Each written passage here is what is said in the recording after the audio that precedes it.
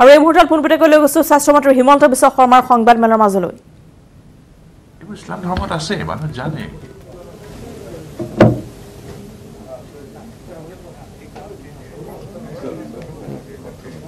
লক্ষ্মণ। ওই Lakshman.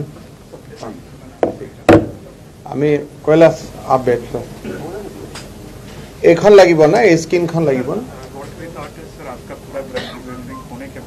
will have to move in last minute presentation. Sir.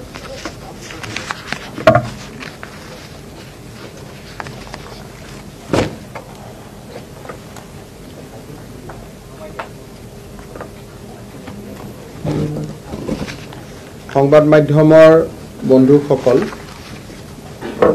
আমাৰ বৰ্তমান অসমত কৰোণা ভাইৰাছৰ যি সংক্ৰমণৰ বিৰুদ্ধে সকলো ৰাইজ একত্ৰিত হৈ যুঁজ দি আহিছে আৰু যোৱাকালি অসমবাসী ৰাইজে অতি সফলতাৰে সৈতে প্ৰধানমন্ত্ৰী নৰেন্দ্ৰ মোদী ডাঙৰীয়াই আহ্বান কৰা কাৰ্যসূচীত অংশগ্ৰহণ কৰে আৰু একত্ৰিতভাৱে চাকি মম বা আন বিভিন্ন মোবাইলৰ টৰ্চ লাইট আদিৰে আমি ভাৰতবৰ্ষখনে যে একত্ৰিত হৈ আছোঁ আৰু একত্ৰিতভাৱে এই সংগ্ৰামত আমি যুঁজ দিছোঁ তাক পুনৰ এবাৰ প্ৰতীয়মান কৰে। অসমতো এই কাৰ্যসূচী খুব সফলতাৰে সৈতে পালন হয় আৰু প্ৰায় সকল ব্যক্তিয়ে নিজৰ ঘৰৰ লাইট নুমাই চাকি বন্তি জ্বলাই প্ৰধানমন্ত্ৰী নৰেন্দ্ৰ মোদী ডাঙৰীয়াৰ এই কাৰ্যসূচী তেওঁৰ দ্বাৰা আহ্বান কৰা এই কাৰ্যসূচী সফল কৰি তোলে। You can imagine the success যিটো আমাৰ কালি যিটো সফলতাৰ যিটো এটা পৰিমাণ আপোনালোকে যদি চায় তেতিয়াহ'লে কালি সেই সময়ছোৱাত আমাৰ পাৱাৰ ডিমাণ্ড ড্ৰপ হৈছিল by four hundred seventy one megawatt অৰ্থাৎ অসমৰ ক'ব গ'লে except street light hospital light or some essential service বাদ দি almost everybody has switch off their light so' reduction of power demand during that nine minute was four hundred seventy one megawatt so' which is we have initially estimated that it will be around 350 megawatt power demand drop hobo but that has gone up hundred seventy one megawatt drop হৈছিলে তাৰমানে অসমত it was ক'ব গ'লে ninety nine percent এইটো success হোৱা বুলি আমি ক'ব পাৰোঁ আৰু that one percent also' public utility যিটো আমাৰ এক্সেমশ্যন আছিল বুলি আমি কৈছোঁ বা আমি ক'ব পাৰোঁ। অসমবাসী ৰাইজক মই তাৰ বাবে ধন্যবাদ জনাইছোঁ। কৰোণাৰ টেষ্টৰ সংখ্যা অসমত দ্ৰুতগতিত বাঢ়ি গৈ আছে কিন্তু পজিটিভ কেছৰ সংখ্যা বঢ়া নাই। আজিৰ দিনটোতো ই ছাব্বিছতে ৰৈ আছে আৰু ছাব্বিছৰ সংখ্যা এতিয়ালৈকে পাৰ হোৱা নাই। অসমত এই মুহূৰ্তত আমি দুহেজাৰ টেষ্ট আমি সম্পূৰ্ণ কৰিছোঁ। কম্বাইন আমাৰ যিটো ফাইভ চেণ্টাৰ আছে সেই ফাইভ চেণ্টাৰত এতিয়া আমি দুহেজাৰ টেষ্ট সম্পূৰ্ণ কৰিলোঁ। আৰু দুহেজাৰ টেষ্টৰ one sixty five result awaited আছে hundred sixty five result awaited আছে ছাব্বিছটা পজিটিভ আছে। আৰু ওঠৰশ নটা নিগেটিভ হৈছে। So' two thousand milestone we have touch আৰু পজিটিভৰ সংখ্যা ছাব্বিছটা কোন কোন জিলাৰ পজিটিভ সেই বিষয়ে আপোনালোক জানেই কিন্তু মই তাক নতুনকৈ কোৱাৰ প্ৰয়োজন আছে বুলি মই নাভাবোঁ। ওৱান ছিক্সটি ফাইভ সেইখিনি ৰিজাল্ট আমাৰ চাৰিটামান বজালৈকে গোটেইখিনি ওলাই যাব। হয়। গধূলি চাৰিটালৈকে ওলাই যাব কিন্তু এইটো এটা ডাইনেমিক আকৌ গধূলিলৈকে চেম্পুলো বাঢ়ি যাব। গতিকে একেবাৰে শেষ নহয় কাৰণ এটা বেটছৰ ৰিজাল্ট চাৰিটাত ওলায় এটা বেটছৰ ৰাতিপুৱা ৰিজাল্ট এঘাৰটামান বজাত ওলায় আৰু এটা বেটছৰ ৰিজাল্ট ৰাতি দুটামান বজাত ওলায় গতিকে তিনিটামান বেটছ চলি থাকে। সেইকাৰণে মই আজি কোৱা সংখ্যাটো চাৰিটা বজাত আকৌ ফটক কৰি বদলি যায় কালেকশ্যন ফিগাৰটো বদলি যায় আৰু টেষ্টৰ ৰিজাল্টটো ফাইণ্ডিং গোটেইখিনি বদলি যায়। আমাৰ মাজত গোটেই দেশত আমি জানো যে বৰ্তমান গোটেই বিশ্বত কৰোণা কৰোণাত আক্ৰান্ত ৰোগীৰ সংখ্যা তেৰ লাখলৈ বৃদ্ধি হৈছে আৰু ভাৰতবৰ্ষতো ই চাৰি হাজাৰ তিনিশ পঞ্চাছৰ সংখ্যা পাৰ কৰিছে। সন্তুষ্টি বুলি নক'লেও যে it is a matter of relief যে যোৱা লাষ্ট ফৰ্টি এইট আৱাৰ্ছত এক্সেপ্ট ওৱান ফ্ৰম কাছাৰ আমি কোনো নতুন কেছ পজিটিভ হিচাপে আমি পোৱা নাই। ৰাইজৰ মনত এটা উৎকণ্ঠা আছে যে স্পেনিছ গাৰ্ডেনৰ লগত জড়িত টিবিৱাল ডাঙৰীয়াৰ লগত জড়িত কিমান আমি টেষ্ট কৰিলোঁ কিমান টেষ্ট পজিটিভ হ'ল নিগেটিভ হ'ল ৰাইজৰ এটা এই বিষয়ত উৎকণ্ঠা আছে। মনীষ টিবিৱালৰ সম্পৰ্কলৈ অহা আমি এশ বাৰজন মানুহক চিনাক্ত কৰিবলৈ সক্ষম হৈছিলোঁ। Hundred and twelve. Out of hundred and twelve ninety eight sample আমি ইতিমধ্যে কালেক্ট কৰিছোঁ। টোটেল আইডেণ্টিফাইড পাৰ্চন যে তেওঁ লগ পাই থকা এই গোটেই সময়ছোৱাৰ ভিতৰত হাণ্ড্ৰেড টুৱেল্ভ তাৰ ভিতৰত তেখেতৰ পত্নীও আছে পিতৃ মাতৃও আছে ল'ৰা ছোৱালীও আছে গোটেইখিনি আছে। আৰু আমি সৰ্বমুঠ এশ বাৰগৰাকী ব্যক্তিক আমি আইডেণ্টিফাই কৰিছিলোঁ। যে এওঁলোকৰ আমি টেষ্ট কৰিব লাগিব। এতিয়ালৈকে আমি আঠানব্বৈটা টেষ্ট আমি কালেক্ট কৰিব পাৰিছোঁ। আৰু বাকী তেৰজনৰো কালেকশ্যনৰ প্ৰচেছ চলি আছে। কোনোবা কোনোবা ক'ৰবাত আছিল আহিছে। বা thirteen is to be collected ninety eight we have already collected এই নাইণ্টি এইটৰ ভিতৰত এইটটি ফাইভ টেষ্ট ৰিজাল্ট ইতিমধ্যে আহিছে। আৰু এইটটি ফাইভেই নিগেটিভ দেখুৱাইছে।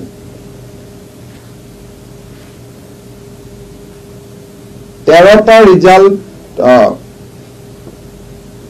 আমাৰ তেৰটা ৰিজাল্ট আমি এৱেইট কৰিছোঁ। নাইণ্টি এইটৰ পৰা যদি এইটটি ফাইভ আমি মাইনাছ কৰোঁ আঠে পাছে তেৰটা ৰিজাল্ট তেৰটা ৰিজাল্ট লেবৰেটৰীত প্ৰচেছ হৈ আছে। আৰু তেৰটা আমি সংগ্ৰহ কৰিব পৰা নাই।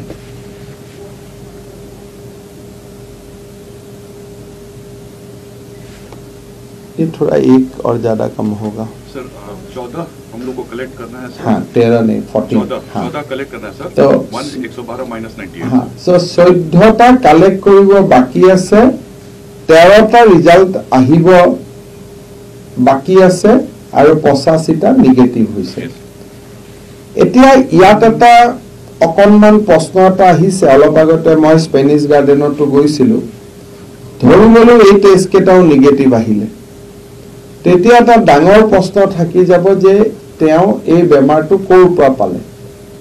হোৱাট ৱাজ দ্য চ'ৰ্চ এই চ'ৰ্চটো জানিব নোৱাৰালৈকে অকণমান মনে মনে আমি অস্বস্তিৰ পৰিৱেশৰ মাজত থাকিব লাগিব।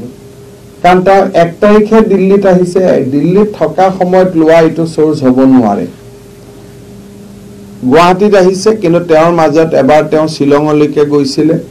সৰু এটা ট্ৰেভেল হিষ্ট্ৰী আছিলে ফৰ এ ডে কিন্তু এইটো ক'ৰ পৰা পালে?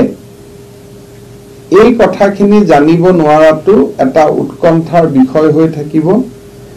অৱশ্যে চৈধ্যটা চেম্পল কালেক্ট কৰিব বাকী আছে তেৰটা চেম্পলৰ ৰিজাল্ট আহিব বাকী আছে।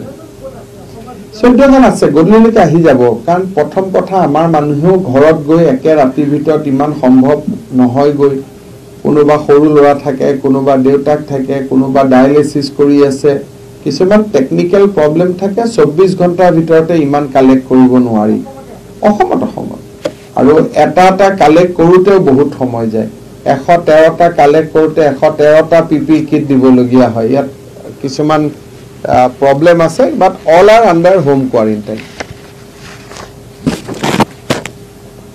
নিজামুদ্দিনৰ ঘটনা সম্পৰ্কত আমি ভাৰত চৰকাৰৰ পৰা চাৰিখন লিষ্ট আমি সৰ্বমুঠ পাইছিলোঁ। List one list two list three list four বৰ্তমানলৈকে চাৰিখন লিষ্ট মিলাই আমি five hundred fifty six church Bharat চৰকাৰৰ পৰা আমি পাইছিলোঁ। Two hundred seventy five church আমাৰ লোকেল ছাৰ্ভিলেঞ্চৰ পৰা আমি পাইছিলোঁ। চ' সৰ্বমুঠ নিজামুদ্দিন মাৰ্কাজলৈ যোৱা ব্যক্তিৰ সংখ্যা আঠশ একত্ৰিছ। এনেকুৱা আমি প্ৰথম অৱস্থাত তালিকা এখন আমি পাইছিলোঁ। তাৰে ভিতৰত আমি গম পালোঁ যে পঞ্চাছজন ঘূৰি অহা নাই আৰু এশজন ব্যক্তি নিজামুদ্দিনৰ ঘটনাৰ লগত জড়িত নহয়।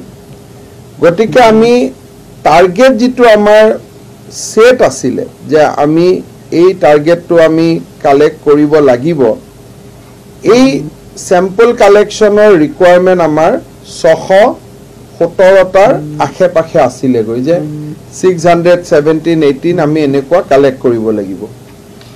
ফ'ৰ হাণ্ড্ৰেড নাইণ্টি ওৱান আমি চেম্পল কালেক্ট কৰিলোঁ।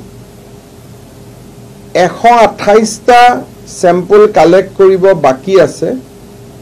আৰু এই এশ আঠাইছটাৰ ক্ষেত্ৰতো আমাৰ মাৰ্কাজৰ লগত জড়িত ব্যক্তিসকলৰ লগত আলাপ আলোচনা হৈছে।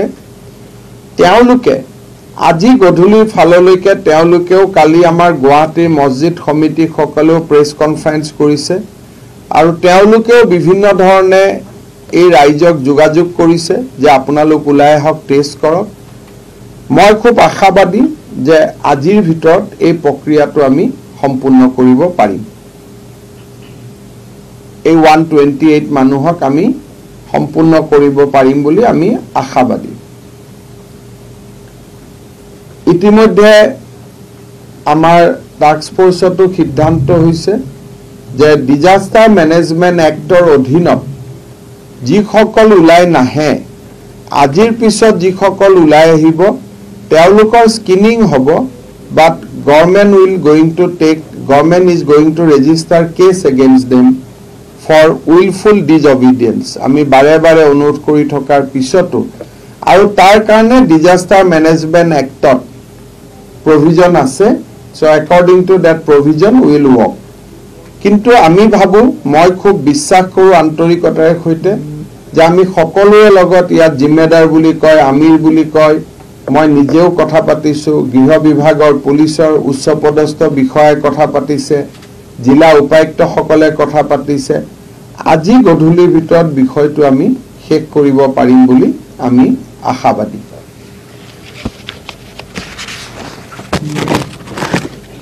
এই গোটেইখিনি আমি আগবাঢ়ি থকাৰ সময়ত কিছু সাংবাদিকে মোক প্ৰশ্ন কৰিছিল যে আপোনালোকৰ লগত কিট আদি কিমান আছে তেওঁলোকেও জানিব খুজিছিল। আজিৰ মুহূৰ্তত ৰাজ্য চৰকাৰৰ ওচৰত তিনি হাজাৰ নশ একচল্লিছটা পি পি কিট আছে পাৰ্চনেল প্ৰটেকশ্যন ইকুইপমেণ্ট আছে three thousand nine hundred forty one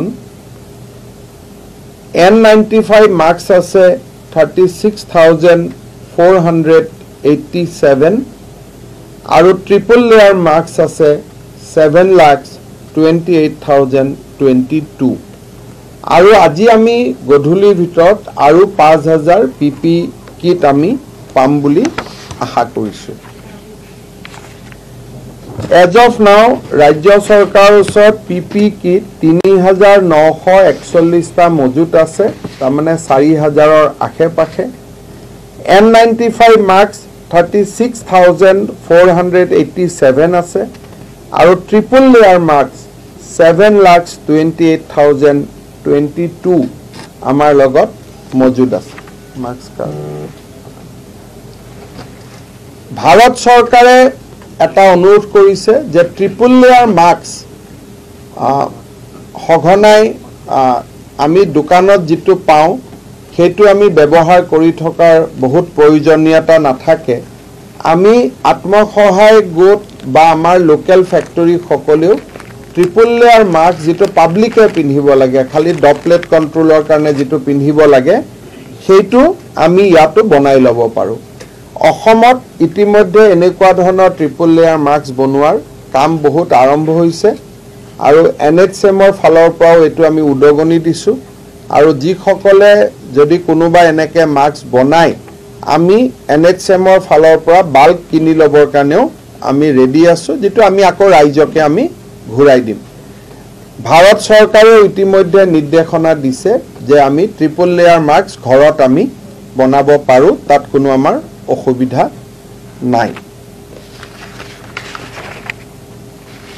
কেইটামান কথা অকণমান নতুন তিনিটা ইনিচিয়েটিভৰ কথা আমি খুজি জানিব খুজিছোঁ।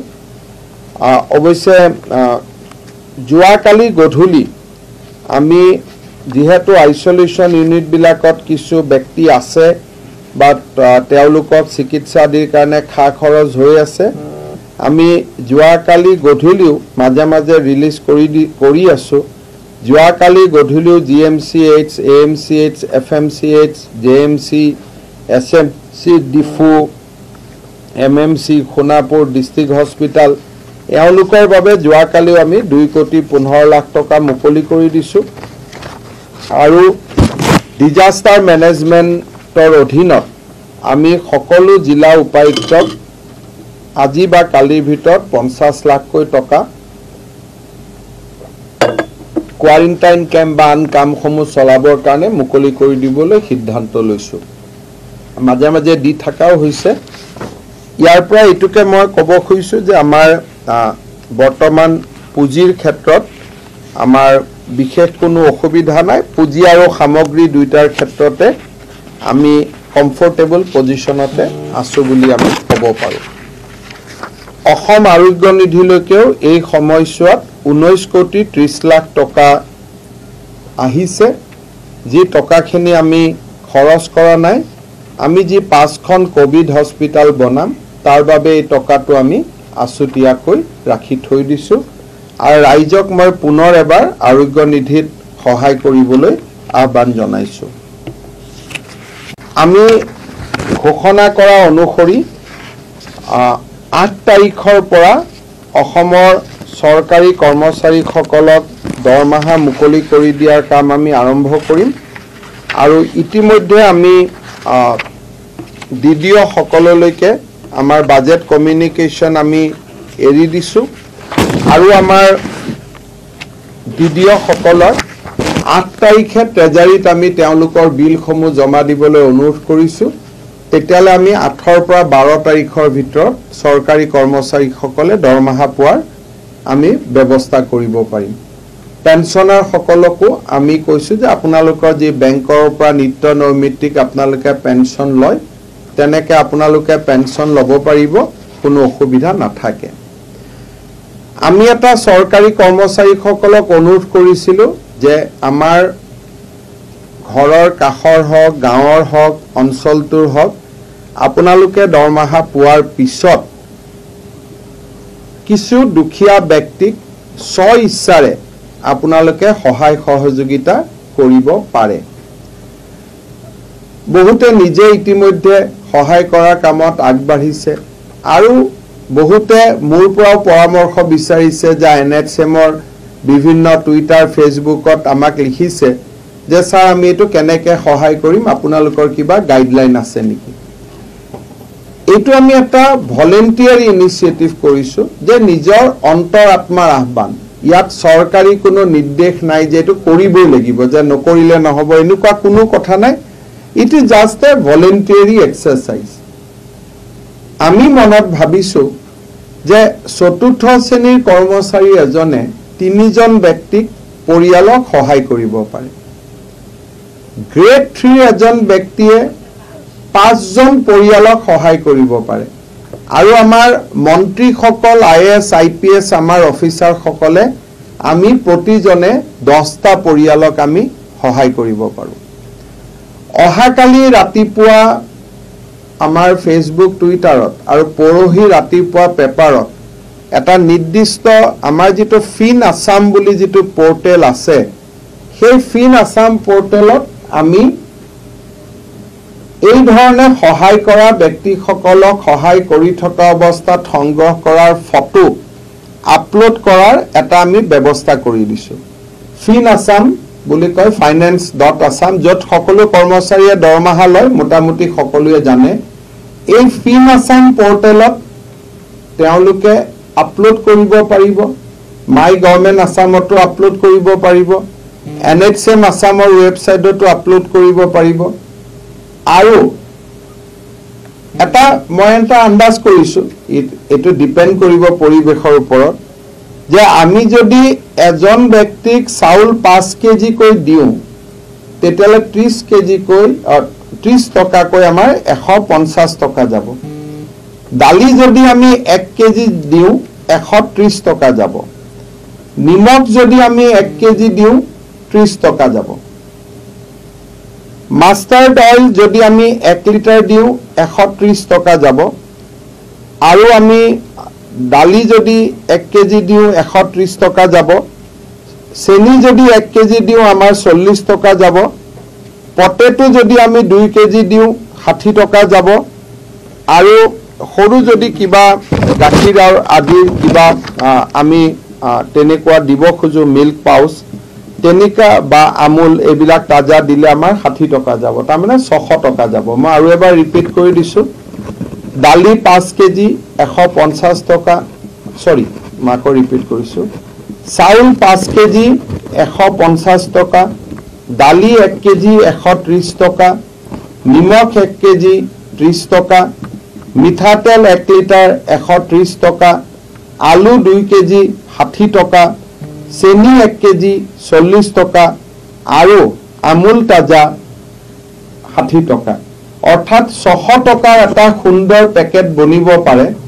চতুৰ্থ শ্ৰেণীৰ কৰ্মচাৰীসকলে তিনিজনক দিব পাৰে। তৃতীয় শ্ৰেণীৰ কৰ্মচাৰীসকলে পাঁচজনক দিব পাৰে। আৰু I S A C S I P S বা যাক আমি ক্লাছ ওৱান অফিচাৰ বুলি কওঁ ইনক্লুডিং মন্ত্ৰী আমি দহজনক দিব পাৰোঁ।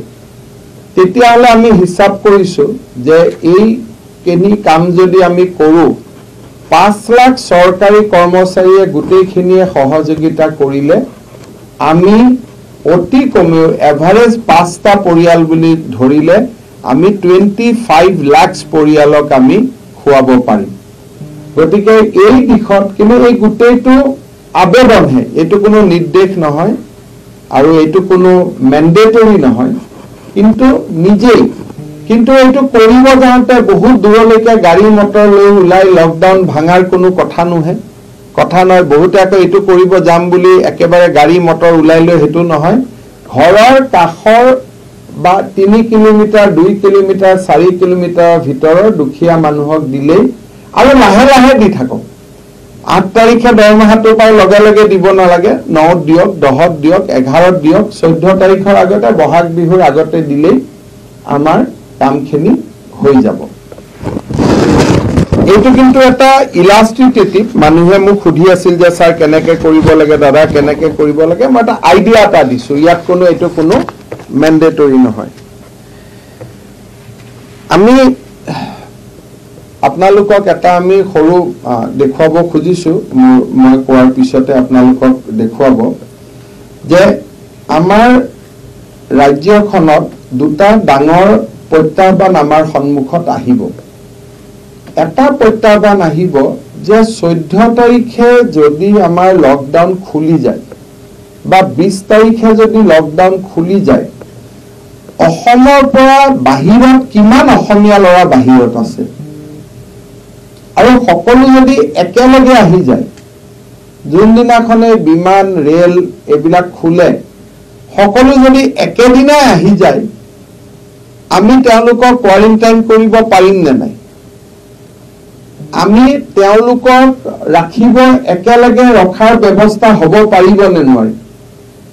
আৰু ৰেলত যদি এবাৰ উঠি আহে তেতিয়াহ'লে আমিতো নাও ক'ব নোৱাৰিম। সেইকাৰণে আমি ইয়াত চিকুৱেঞ্চিং কৰিব লাগিব। যে প্ৰথম আমি জানিব লাগিব যে অসমলৈকে কোন কোন উভতি আহিব খোজে। ছাপ'জ পঞ্চাছ হাজাৰ মানুহ অসমলৈকে আহিব খোজে। একেকোবে ফিফটি থাউজেণ্ড আমি আহিব দিব নোৱাৰোঁ কাৰণ আমাৰতো কোৱাৰেণ্টাইন নাই। গতিকে পোন্ধৰ তাৰিখে আমি ক'ব লাগিব যে এই পাঁচ হাজাৰ আহা। সোতৰ তাৰিখে আমি ক'ব লাগিব যে এই পাঁচ হাজাৰ আহা। ঊনৈছ তাৰিখে আমি ক'ব লাগিব যে আনাডাৰ ফাইভ থাউজেণ্ড আহা। লকডাউন কেতিয়া খুলিব কি ধৰণে খুলিব ভাৰত চৰকাৰে কি ব্যৱস্থা ল'ব এইটো এটা সুকীয়া কথা।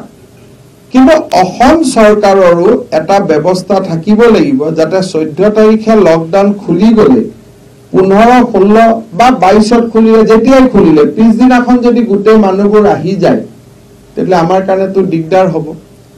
সেইকাৰণে এই সময়ছোৱাত as and when lockdown is withdrawn আমি অসমলৈ আহিব খোজা মানুহখিনিক এটা নিয়ন্ত্ৰণৰ ভিত্তিতহে অসমত আহিব অনুমতি দিব লাগিব। চ' ফৰ টেম্পৰাৰী পলিটিকেলি নহয় but for temporary purpose we may require a inner line permit kind of situation even for the permanent resident of Assam তেওঁলোকক পাৰ্মিট টাৰ্মিট নালাগে আমাৰে দাদা ভাইটি। কিন্তু এটা পাৰ্মিশ্যন যে অসমলৈকে মই কোন তাৰিখে আহিম পাৰ্মিট এখন আগত তেওঁলোকে ল'ব লাগিব। যদি পাৰ্মিট এখন নোলোৱাকৈ অসমত আহি যায় আমি নাজানো তেওঁলোক মৰিয়নিতে নামিলে নে ডিমাপুৰতে নামিলে নে ডিফুতে নামা নামিলে। এই গোটেই চৈধ্য দিনৰ যিটো আমি সকলোৱে মিলি ত্যাগ আৰু কষ্ট কৰিলো এই গোটেইটো পানীত পৰি যাব। সেইকাৰণে পৰহি দিনাৰ পৰা আমি এটা ৱেবছাইট লঞ্চ কৰিম বা চৌঠা দিনে হ'ব পাৰে কাৰণ ভাৰত চৰকাৰৰ পৰা আমি এতিয়ালৈকে স্পষ্ট নিৰ্দেশ পোৱা নাই তেওঁলোকে কেনেকুৱা চেষ্টা কৰিছে। কিন্তু অসমলৈ উভতি অহা মানুহসকলৰ আমি এটা ৰেজিষ্ট্ৰেশ্যন আৰম্ভ কৰিম। যে যোনে হওক মোৰ ভাইটি হওক কোনোবা পঢ়ি আছো কোনোবা শিক্ষা লৈ আছো কোনোবা চাকৰি কৰি আছো লকডাউন খুলিলে মই অসমলৈকে আহিম। কেতিয়া খুলিব ইণ্টাৰষ্টেট বাছ খুলিব ফ্লাইট খুলিব বেলেগ কথা। কিন্তু এটলিষ্ট মই আজি অসমৰ বাহিৰত আছো। আমাৰ দুটা কাম হ'ব। এটা হ'ব কিমান মানুহ বাহিৰত আছে সেই ডেটাটো আমি পাম। আৰু দীঘলীয়া লকডাউন হ'লেতো আমি তেওঁলোকৰ কথা চিন্তাও কৰিব লাগিব। আৰু যদি লকডাউন উদ্ৰ হয় তেওঁলোক ঘূৰি আহোঁতে আমি ডেইলি এহেজাৰ দুহেজাৰ মানুহতকৈ বেছি ঘূৰাই নিব পাৰিম নে নাই? আৰু জানিব লাগিব তেওঁলোকৰ জিঅ'গ্ৰাফিক লোকেশ্যনবোৰ কি। যদি লোৱাৰ আছামলৈকে বেছি মানুহ আহিব তেতিয়াহ'লে সৰু সজাইৰ দৰে লোৱাৰ বঙাইগাঁৱত এটা কোৱাৰেণ্টাইন কেম্প কৰিব লাগিব। যদি ডিব্ৰুগড়লৈকে আহিব খোজে তেতিয়াহ'লে ডিব্ৰুগড়ত এটা ডাঙৰ কোৱাৰেণ্টাইন কেম্প কৰিব লাগিব। কাৰণ মানুহটোতো ইমান আমি ল'ব নোৱাৰিম। আৰু হোম কোৱাৰেণ্টাইনৰোতো সকলোৰে নাথাকিব। গতিকে ৰাজ্য চৰকাৰে এটি সক্ৰিয়তাৰে এণ্ট্ৰি পাৰ্মিট এই ধৰণৰ ব্যৱস্থা এটাৰ কথা চিন্তা কৰি আছে। পৰহি বা চৌঠা দিনলৈ এই দিশত এটা ৰূপৰেখা নিৰ্মাণ হ'ব। ময়ো অসমবাসী ৰাইজৰ ছাজেশ্যন বিচাৰিছোঁ যে এইটো ক্ষেত্ৰত যদি আপোনালোকৰো কিবা ছাজেশ্যন আছে আপোনালোকেও দিয়ক। কাৰণ আমাৰে ল'ৰা ছোৱালী বাহিৰত আছে তেওঁলোক বাহিৰা মানুহ নহয়। মোৰে ভাইটি ডাঙৰ ভাইটি সৰু ভাইটি আমি তেওঁলোকক কেনেকে ঘূৰাই আনিম? এই বিষয়ত আমি ভাবাত কৰি যদি আন কিবা পৰামৰ্শ আছে তেওঁলোককো মই এই পৰামৰ্শ দিবলৈ অনুৰোধ কৰিছো যাতে আমি এটা কংক্ৰিট লাইন অফ একশ্যন এটা ল'ব পাৰোঁ। দ্বিতীয়তে আজিৰ পৰা আমি এটা লাঞ্চ লঞ্চ কৰিব খুজিছো যে ভলেণ্টিয়াৰী ছাৰ্ভিচ আজি এনেকুৱা এটা অৱস্থা আমি ঠিকে আছো কিন্তু আজি ৰাতিপুৱা আপোনালোকে গম পাইছে যে বম্বে ৱাখাদত হস্পিটেলখন গোটেইখন কণ্টেইনমেণ্ট জোন ডিক্লেয়াৰ কৰি দিলে। কাৰণ তাত তেওঁলোকে পজিটিভ কেছ বহুত কেইটা পালে। এতিয়া অহাকালি আমাৰো যদি তেনেকুৱা এটা পৰিৱেশ হয় আমাকতো এডিশ্যনেল মেন পাৱাৰ লাগিব আজিৰ পৰা আমি এটা ৱেবছাইট লঞ্চ কৰিম যিটো আমাৰ জইণ্ট ছেক্ৰেটাৰী কৈলাশ কাৰ্তিকে আপোনালোকক দেখুৱাই দিব য'ত ডক্তৰ নাৰ্ছ আৰু পেৰামেডিক্স যিসকলে অসমৰ বাহিৰত আছে ঘূৰি আহি আফটাৰ কোৱাৰেণ্টাইন আমাৰ লগত ভলেণ্টিয়াৰী ছাৰ্ভিচ কৰিব খুজিব বা অসমৰ ভিতৰত থাকিও ভলেণ্টিয়াৰী ছাৰ্ভিচ কৰিব ইচ্ছা আছে আগ্ৰহ আছে তেওঁলোকৰ ৰেজিষ্ট্ৰেশ্যনৰ সুবিধা এটা আজিৰ পৰা আমি খুলি দিব খুজিছো যাতে তেওঁলোকে নিজৰ নামটো ৰেজিষ্টাৰ কৰিব পাৰে। ৰেজিষ্টাৰ কৰা মানে যে এনেকুৱা নহয় বহুতক আমি টেলিমেডিচিনত লগাব পাৰো। যে এজন অসমীয়া ডক্তৰ বাংগালোৰত আছে।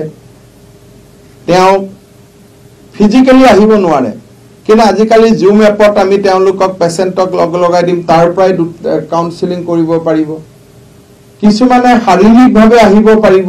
গতিকে যিসকল চৰকাৰৰ সীমাৰেখাৰ বাহিৰত আছে কিন্তু এই দুৰ্যোগৰ সময়ত ৰাইজক সহায় কৰিব খোজে তেওঁলোকৰ কাৰণেও আজি এটা আমি ৱেবছাইট মুকলি কৰি দিছো য'ত ডক্তৰ নাৰ্ছ আৰু পেৰামেডিকসকলৰ আমি ইয়াতে ৰেজিষ্ট্ৰেশ্যন ল'ম। মোৰ এই সাংবাদিক মেল আপোনালোকৰ দুই এটা যি প্ৰশ্ন আছে উত্তৰ দিয়াৰ পিছতে সেই ৱেবছাইটটো আমি আপোনালোকক দেখুৱাই দিম আৰু পেপাৰত আমি এডভাৰটাইজো কৰিম বা টিভিত আমি এডভাৰটাইজো কৰিম। আপোনালোকৰ যদি দুই চাৰিটা প্ৰশ্ন আছে আপোনালোকক মই সুধিবলৈ অনুৰোধ কৰিছোঁ।